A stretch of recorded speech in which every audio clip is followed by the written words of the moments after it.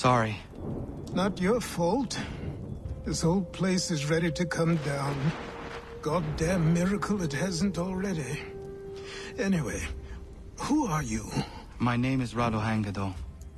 Right.